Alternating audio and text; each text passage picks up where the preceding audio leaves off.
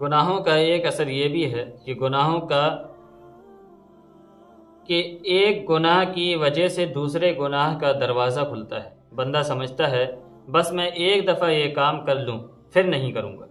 वो एक दफ़ा का काम करना अगले गुनाह का दरवाज़ा खोल देता है। दोस्त ने कहा, चलो भाई, एक दफ़ा ये गुनाह करते हैं। उसने ऐसी बुरी औरत का तारुफ करवा दिया। अब गुनाहों का दरवाज़ा ही खुल गया। किसी ने नाजायज़, किसी से नाजायज़ ताल्लुकात हो गए। अब झूठ का दरवाज़ा ही खुल गया। बाप के सामने झूठ, अम्मी के सामने झूठ, भाई के सामने भी झूठ, हर एक के सामने झूठ, हर वक्त झूठ, और फिर इतने झूठों को छिपाने के लिए मजीद झूठ। नतीजा क्या निकलता है? रिवायत में आता है, बंदा इतना झूठ बोलता है, इतना झूठ बोलता है कि अल्लाह ताला फरिश्तों से फरमाते हैं, हुक्म देते हैं कि इस बंदे का कज्जाब यानी झूठे लोगों के दफ्तर में नाम लिख दिया जाए।